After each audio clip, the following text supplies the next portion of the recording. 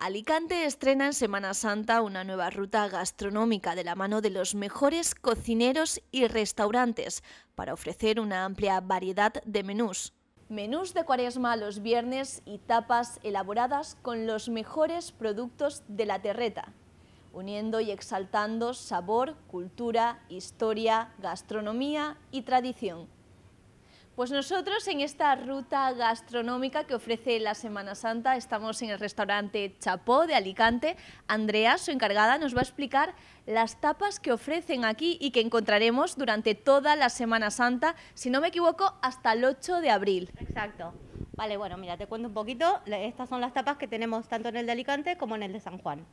En el de, Alicante tenemos la Chapó Fusión y en el de San Juan tenemos Mil Amores.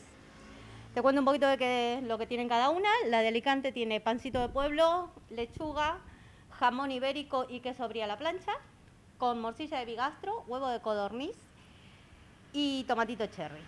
Luego tenemos la tapita de San Juan, que es pan de pueblo, con jamón ibérico, secreto ibérico, patata y una salsa de café París. 27 restaurantes participan en estas jornadas culinarias que se desarrollan hasta el 8 de abril.